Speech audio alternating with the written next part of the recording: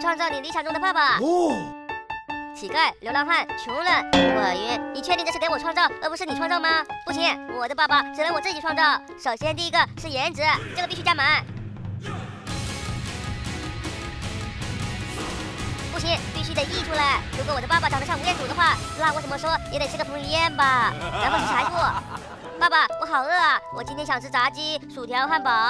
宝宝，你也知道我们家里的条件，说的那些，爸爸根本买不起。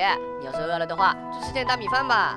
可是今天是我的生日，不行，我之前的爸爸太穷了，住的是乞丐屋，就连我过生日也只能吃大米饭。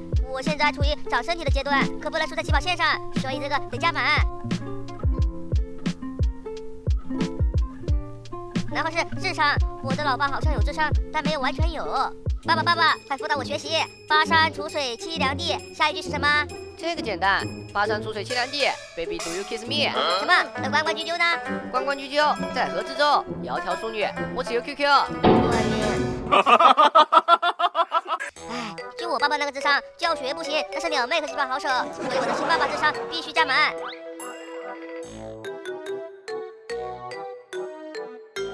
再之后是脾气，爸爸，我回来了。嗯，你身上怎么这么脏？说，你去干嘛了？啊，这个我只是和小伙伴们出去玩了一下而已。好呀，有时间不多去学习点知识，还出去玩，你以后就准备在补习班里度过吧。之前的爸爸老是因为一些小事而对我大发雷霆，所以脾气不能给太多，但是也不能完全没有，毕竟爸爸是一家之主，还是需要有一点威压的，就给一半吧。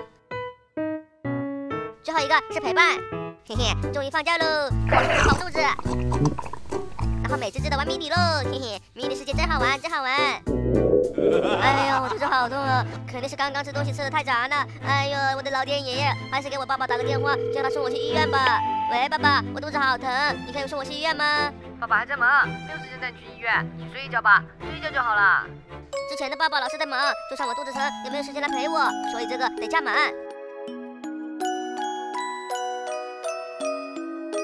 看看我创造的爸爸是什么样的吧！送过去，怎么是你错啊？没想到啊，奶糖，我拿你当朋友，你却想当我儿子。算了，我就勉为其难的答应吧。来，好大鹅，跟爸爸回家。不，你不是真的。哎，好大，你别走啊！爸爸给你买炸鸡、薯条和汉堡。